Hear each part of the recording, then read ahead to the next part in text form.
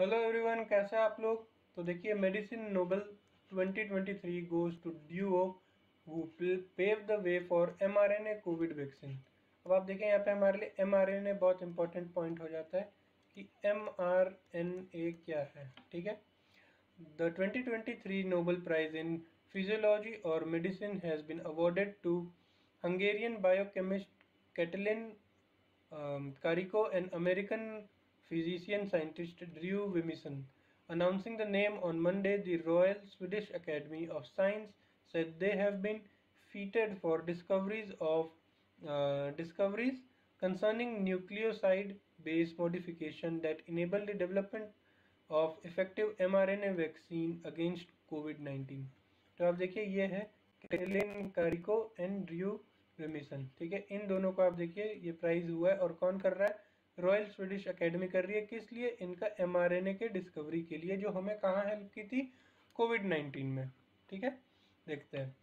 That the citation mention pandemic shows the effect of M R A vaccine had on its evolution as well as how the global disaster became an opportunity for the vaccine technology to showcase its potential M R N A stand for messengers R N A type of molecule अब देखिए यहाँ पे M का full form है messenger R N A molecule that carries in instruction from D N A to a cell's cytoplasm अब जैसे cell हो गया सेल के बीच में जो लिक्विड होते हैं, वो साइटोप्लाज्म होता है.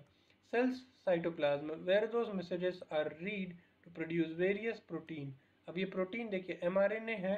एम का यहाँ पे डेफिनेशन काम दे दिया है, क्या है आप देखिए.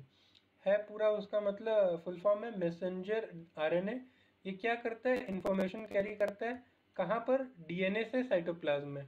तो यहाँ पे अगर आपका सेल है, और डीएनए से साइटोप्लाज्म में सेल के आप देखिए मैसेज मैसेज ये ट्रांसफ़र करता है। उससे क्या होता है? यहाँ पे प्रोटीन बनते हैं। क्या बनते हैं आपके? प्रोटीन बनते हैं। तो ये प्रोटीन क्या है? आपको यही प्रोटीन एक्चुअली हमें बचाते हैं। तो ये एमआरएनए का हमारा काम है, और वो इन दोनों ने आप देखिए डिस्कवर किया था, जिसकी वजह से इनको नोबेल प्राइज मिल रहा है। In the late nineteen eighties scientist realise the M R N A could become the basis for a new kind of vaccine if some hurdle could be overcome the idea was to inject the body with modified M R N A that would instruct cell to build a certain protein which could then provoke the body's immune system to attack it as well as prepare it self to encounter with the same protein in future ठीक है? अब आप देखिए यहाँ पे idea was to inject. Idea क्या था? Body में इंजेक्ट करे क्या चीज़? Modified M R N A ठीक है, अगर मानिए ह्यूमन बॉडी है, इसमें हम लोग क्या करेंगे? Modified M R N A inject करेंगे। क्यों करेंगे? To build a certain protein. यहाँ पे हमने देखा कि प्रोटीन बनता है तो यही प्रोटीन यहाँ पे बनाने के लिए हम करेंगे। ठीक है, किस लिए? To build a certain protein which could then provoke the body's immune system अब यहाँ पे हम यहाँ पे जो प्रोटीन होगा वो बॉडी के इम्यून सिस्टम को प्रवोक करेगा। मतलब बोलेगा कि आओ लड़ो। तो ये एक तरीके से मैं आपको बता रहा हूँ क्या होता है ना, ये आपका मॉक टेस्ट होता है कि आपके बॉडी में पहले ही वो चीज़ हम डाल के उसको प्रिपेयर कर रहे हैं, देखो ये चीज़ आ रहा है, इससे लड़ना है। तो जब वो रियलिटी में वो चीज़ आती है तो हमारी बॉडी का इम्यून सिस्टम रेडी होता है ओके हमें ये काम करना है। तो बस इसका यही है कि आपको एक मॉक टेस्ट की तरह इसको समझना है। सिंपल टेस्ट उसमें छोटा मॉक टेस्ट होगा और आप प्रिपेयर हो जाओगे, फिर जब रियल टेस्ट आएगा तो आप उसमें उसको काउंटर कर लोगे। यही चीज़ है। This protein could be something produced by a virus such a spike protein of SARS COVID two यही आपका प्रोटीन है। प्रोटीन था जिससे कोविड की वैक्सीन बनी थी आपकी। But the M R N A would have to survive its journey inside the body and be able to enter cell doctor Kariko and doctor Weizmann began to collaborate in late 1990s.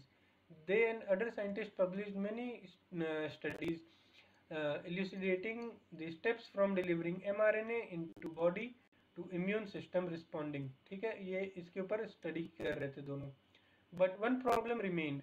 The immune system sensed the synthetic mRNA to be a foreign substance that needed to be eliminated but not the cell. mRNA why? ठीक है? तो आप देखिए, वहाँ पे यही problem हो रहा था कि वो सेंस कर ले रहा था बॉडी कि भाई, ये तो फॉरेन बॉडी आ रही है तो इसको फिर से उसी टाइम एलिमिनेट कर दे रहा था। उसको बॉडी में उसको प्रॉपर प्रैक्टिस के लिए रख ही नहीं रहा था। मैं बहुत लेमन लैंग्वेज में बता रहा हूँ। ये ऐसा नहीं होता जैसे मैं बता रहा हूँ प्रॉपर प्रैक्टिस के लिए रख रहा था। बस समझाने के लिए, आप समझिए वैसे ही होता है। Study they published in 2005 with Michael Buckstein and Houping Ni at the answer, the cell's mRNA underwent chemical reaction that modified it in certain ways, whereas the synthetic mRNA remained unchanged. Okay? RNA is made up of smaller molecules called bases. The duo reported that when they modified some of these bases in the synthetic mRNA the, uh, and delivered it to cells, the cell produced more proactive protein than they did without the modification. They had found out how foreign mRNA could enter body and its cell without sensing of alarm bells. तो यहाँ पे यही इन्होंने ये पता कर लिया कैसे mRNA को बॉडी के सेल में एंटर करवाया जाए जो पहले प्रॉब्लम आ रही थी They published two more studies that set the stage for the use of mRNA platform for a new kind of vaccine. In 2020, the COVID-19 pandemic dawned the world and mRNA vaccine played a pivotal role. It also, if also one overtaken by the uh, dubious viruses, uh, virtues of vaccine nationalism in lowering its death toll. Currently, scientists are exploring their use against influenza, dengue, and some cancers and autoimmune disease. तो आप देखिए इसका आगे और इसके ऊपर काम हो रहा है हो सकता है हमें फ्यूचर आप देखिए इन्फ्लुएंजा डेंगू कुछ कैंसर्स और ऑटोइम्यून डिज़ीज़ के ऊपर भी हमें ये एम हेल्प करे तो इस आर्टिकल में आप देखिए, हमारे लिए इम्पोर्टेंट क्या हो जाता है।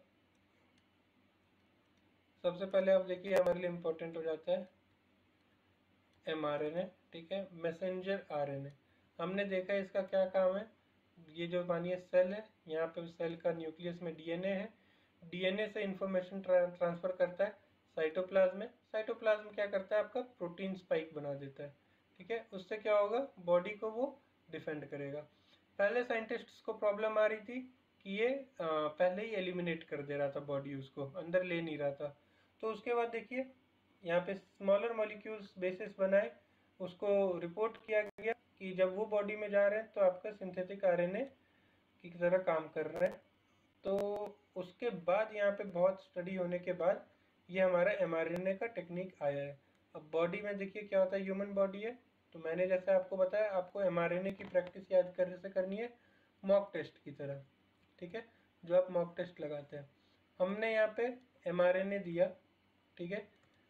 उसके बाद बॉडी के सेल में जाएगा मानिए, वो उसको साइटोप्लाज्म में भेज देगा बॉडी अपना प्रोटीन स्पाइक बना लेगी, हर सेल पे प्रोटीन स्पाइक बनेगा।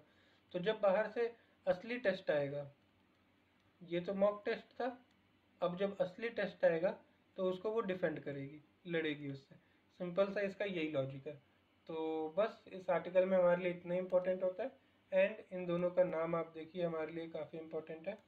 Katalin Kariko and Drew Weissman so thank you guys and please work hard to achieve all your dreams thank you